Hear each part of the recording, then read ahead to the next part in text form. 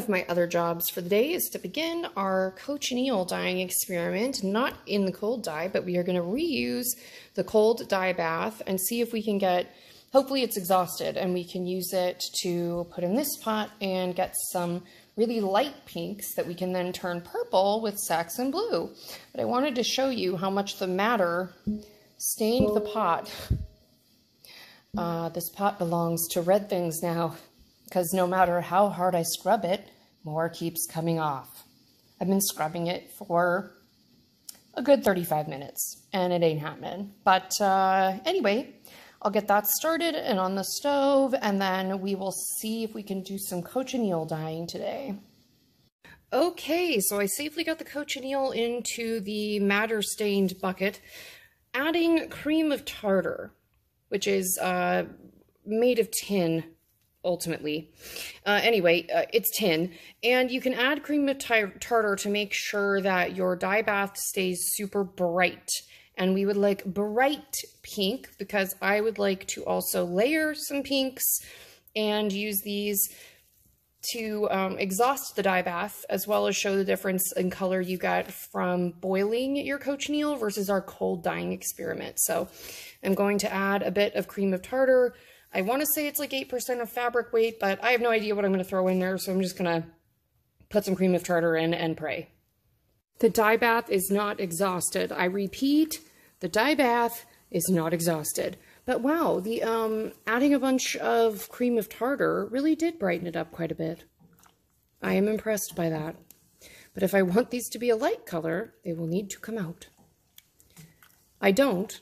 I want them to go for a bit, so I'm going to leave them in there. Wow, that is persistent. Okay, so I've given these about 30 minutes in there. They do not seem to have exhausted the dye bath at all. So I'm going to do at least one skein of yarn to try and get it to rob some of the color out of this. And then I will also um, rob another skein and see if I can get a light one because I want to get at least one really light pink one where the dye bath is exhausted so that I can put it with the uh, Saxon Blue. You have the Sisterhood of the Traveling Pants. I have the Inexhaustible Cochineal Dye Bath. This is the one that we did the cold dyeing with. I've added water to it twice. I have dyed six skeins of yarn, all this fabric, and I put two of the ones that I dyed in weld through as well. And it's still dyeing things that color and I can't get it to stop. There's no diluting it, so uh, we will just have a lot of dark purples in our Saxon Blue test. So to finish off our cochineal hot dyeing experiment, wow, was that an experiment? I did not expect turning out like this. What I did was add cream of tartar to the dye bath because it will brighten the pinks and make them more pinky and less uh, deep, like dragon fruity purple.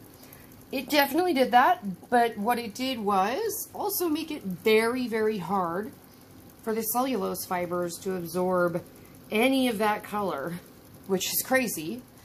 And it seemed to help the wool absorb all of the color. This is my attempt at exhausting that dye bath, which obviously didn't work because that's the lightest color I got. And I dipped that yard in for less than 20 seconds, and that's as light as I could get it.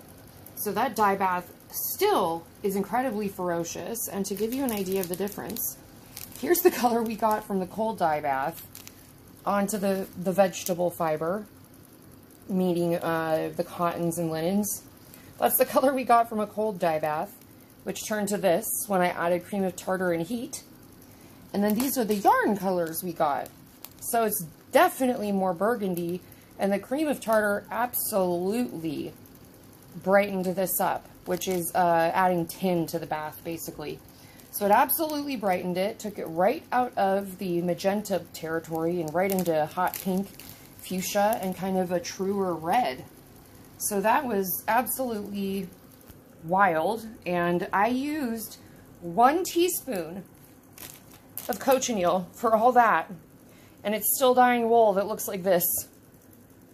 So if you ever buy any, don't buy more than like four grams because you do not need more than that unless you're dyeing some real serious yardage. But anyway, I thought it was fascinating to see how the difference was. And then I have one more thing to add. It was noted in history that, of course, madder was the first uh, red that humans were using to dye, the root.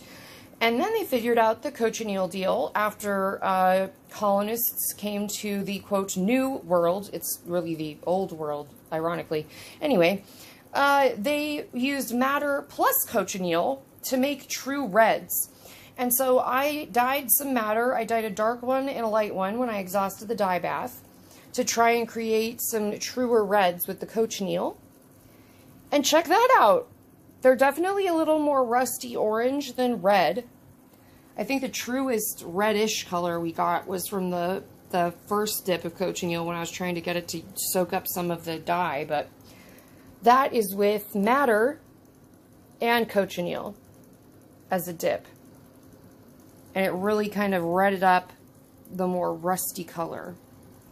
So I thought that was absolutely fascinating. I appreciate you coming on this cochineal dye journey with me so very much.